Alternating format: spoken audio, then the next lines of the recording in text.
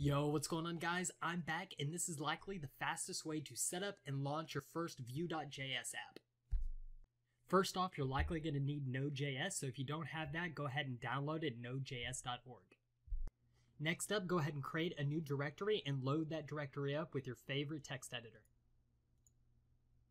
Since we're using Visual Studio Code, we can go ahead and go to View and Integrated Terminal to pull up our terminal.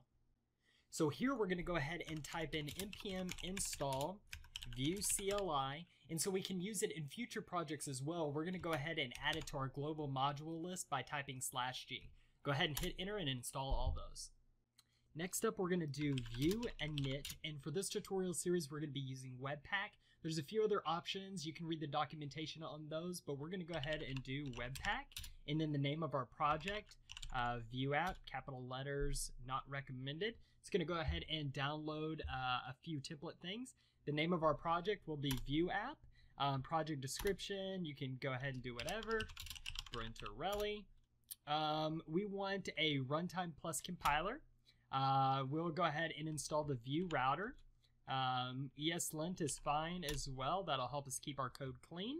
Uh, we'll use the standard ESLint uh, setup. Um, we're not going to do any kind of unit tests here, um, and also none of that. Um, and then we can go ahead and uh, have it set automatically to run npm in install once it sets up our file. So go ahead and hit yes on that and let all those dependencies install. Finally, to run our app, all we have to do is change directory to our Vue app. Once that's done, we can do npm start, and that should go ahead and start up our application. As you can see here, we got our application running on our local host 8080. So all we have to do is go ahead and navigate to that in our browser. And we should see uh, that we have our Vue app up and running. Wham bam, thank you ma'am, we did it.